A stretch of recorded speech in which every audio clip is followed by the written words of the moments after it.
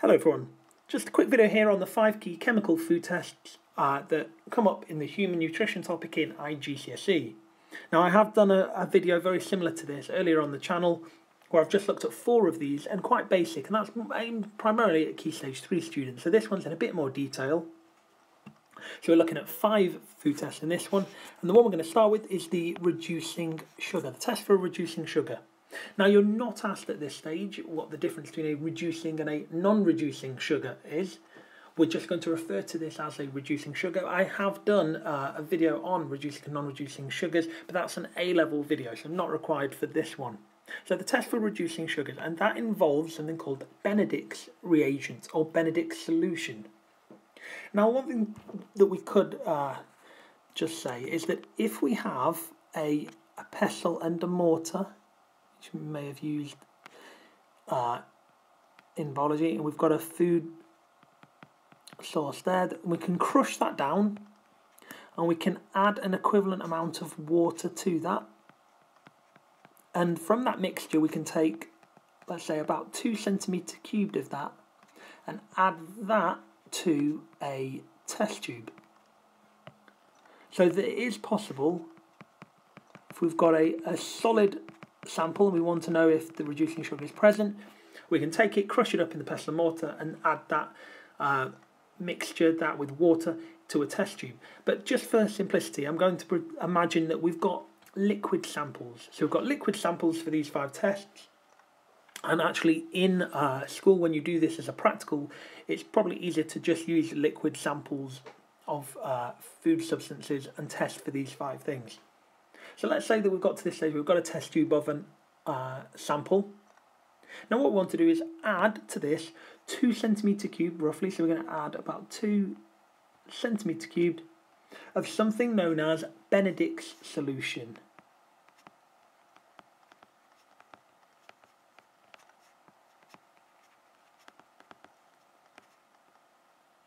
So we're going to add Benedict's solution to this sample.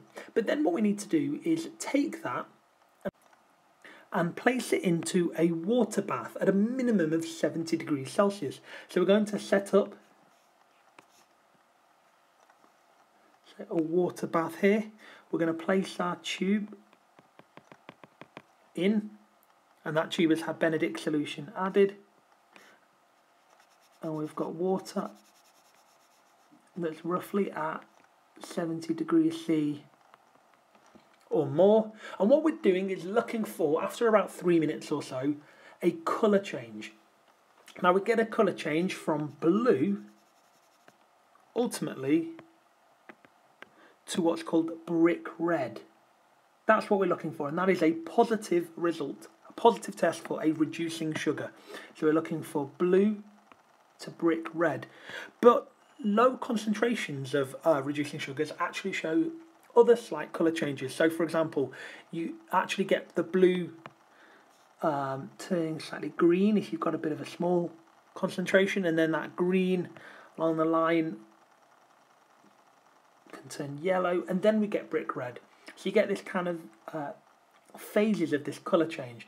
But a good, a good uh, sizable concentration of reducing sugar will give a brick red colour and that's the test for reducing sugar. So now let's consider the test for starch. Now the test for starch is using iodine solution. Now at A level you call it iodine in potassium iodide solution. But again that's more technical. We're just going to refer to it as iodine solution in this. So let's imagine we've got a test tube again with a food substance and we want to know if there is starch present. What we're going to do is add to that a few drops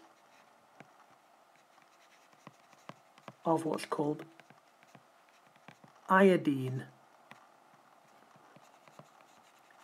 solution. Now again we're looking for a colour change. Now the colour change that we're looking for is a sort of yellowy brown and that's the colour that the iodine solution is to begin with and we're looking for a colour change to what's described as sort of bluey black colour. So we're looking for something a bit like this, a sort of dark bluey black.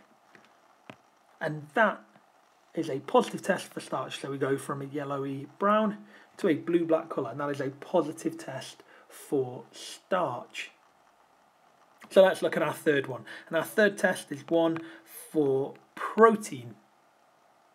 And for that, we're going to use the Biuret test. So once again, we're going to imagine we've got a test tube of liquid unknown sample.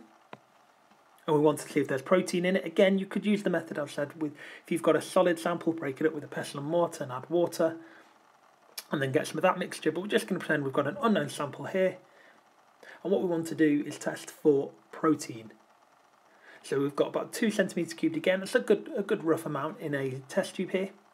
And we're going to add to that about two centimetres cubed of something called Biuret solution. Now Biuret solution is actually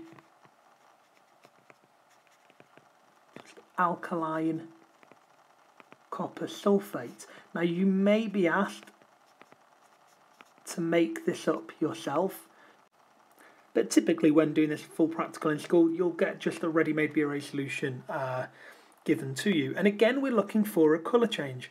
Now this time what we're doing is looking for a colour change from a blue colour, a light blue like this, into a very, very noticeable change to a purple, sort of purple lilac colour like this. And that is a positive indication that protein is present. So we're looking for, again, a colour change. So all the ones we're referring to today in this video are about colour changes. We're looking for a colour change from blue to purple to indicate that positive result. Now let's look at the lipid because in a previous video I've said that you can just rub a sample of food on uh, sort of translucent, on, on paper, almost like greaseproof paper, and it will go translucent. But that's a very basic test. The one we're going to look at is something known as the emulsion test for lipids. And when I say lipids, what I essentially mean are uh, fats and oils. So we'll just make a note of that just so we're clear. So I'm referring to fats and oils here in this test for lipid. So once again, we start with our test tube, unknown sample. Now this is very, very key. The order of this um, often comes up in the exam questions. You can be marked down if the order is wrong. We're going to first of all add two centimetre cubes of ethanol. So the first thing we want to do is add ethanol. Now what the ethanol does is actually dissolve the fat or the oil within that uh, sample. So we want to add ethanol first. Then what we want to do is shake. We want to shake that mixture up. Now once we've shaken that mixture up, the only thing left to do is to then add water now when we add water, what you get is a cloudy white emulsion forming if lipid is present. So what we're looking for here, so what we're looking for is a cloudy white emulsion forming and that is why this test for lipid is known as the emulsion test. So we add ethanol, shake the tube, and then add water, and we get a cloudy white emulsion forming. So that only leaves the test for vitamin C.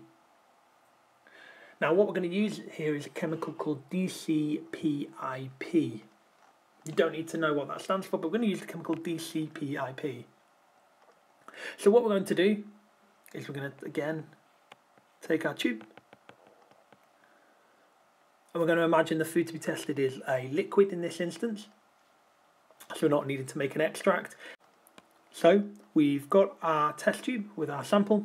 And what we're going to do is add one drop at a time of this chemical that I said was called DCPIP